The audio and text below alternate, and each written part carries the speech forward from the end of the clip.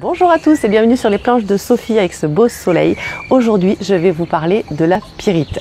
Le nom pyrite vient du grec pyros qui signifie pierre de feu et rien qu'à la regarder, on l'aime, on l'adore parce qu'elle brille justement de mille feux.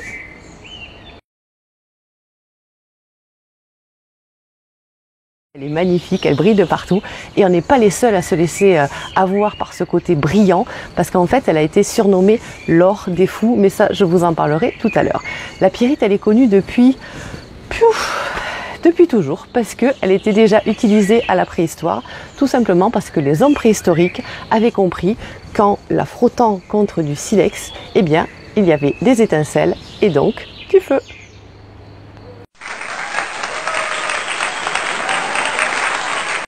Il a trouvé le feu. Donc après nos ancêtres, les hommes préhistoriques, nous avons donc eu nos chercheurs d'or. Alors je vous en ai parlé tout à l'heure au début, avec son côté brillant qui peut ressembler à de l'or. Eh bien nos chercheurs d'or, lors de la ruée vers l'or, ont parfois été faussement pris de joie en pensant avoir trouvé de l'or alors que ce n'était que de la pyrite. Alors même si la pyrite euh, contient un tout petit peu d'or et même parfois de l'argent, eh bien rien à voir avec les précieuses pépites que ces hommes-là cherchaient à ce moment-là. Euh, je vais bouger un petit peu la caméra parce que j'ai la feuille de la fleur. Voilà. Donc beaucoup se sont trompés, d'où le surnom d'or des fous. Ce n'est qu'en 1845 que son nom définitif a été attribué par un chercheur affublé lui-même d'un nom à rallonge, euh, quelque chose comme Willem euh, Karl Ritter von quelque chose.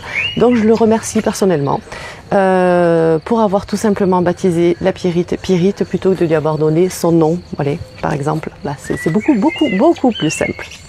La pyrite contient énormément de fer elle est essentiellement utilisée pour faire du soufre et fabriquer de l'acide sulfurique. Donc les principaux gisements se trouvent en France, en Espagne, en Italie, au Pérou et en Slovaquie.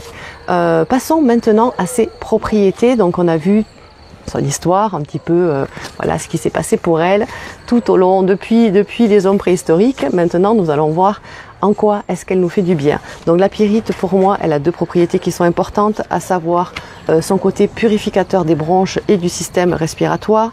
Dans les planches de Sophie, vous pouvez retrouver la pyrite sur les cartes poumons, euh, bronches. Voilà. Et euh, sur problèmes respiratoires. Et vous l'avez aussi pour ronflement quand on a des ronflements qui sont dus à un problème respiratoire, la pyrite est très bien. Euh, et en ces temps là où on a un petit peu de mal à respirer, euh, ben, la pyrite euh, en la posant sur vos poumons sera vraiment un bon allié. La deuxième propriété pour laquelle la pyrite est reconnue, c'est l'anémie. Donc on le voit aussi sur les planches de Sophie grâce à sa teneur en fer.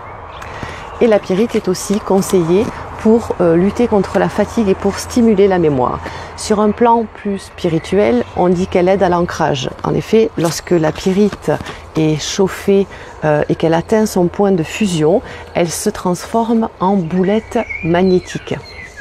Donc avec euh, cette image de, fer, de feu, de boule magnétique, eh bien la pyrite incarne les énergies positives de la Terre, les énergies positives terrestres qui nous aident à rester ancrés, qui nous aident à nous ancrer vraiment au sol.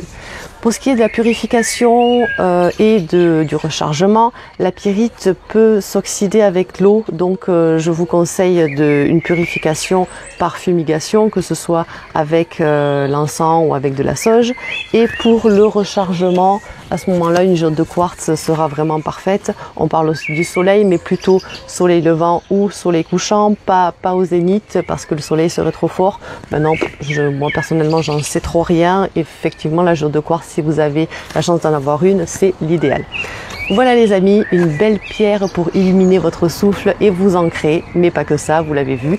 Je vous remercie de m'avoir écouté, n'hésitez pas à partager, aimer et commenter et je vous dis à bientôt sur les planches de Sophie. Ciao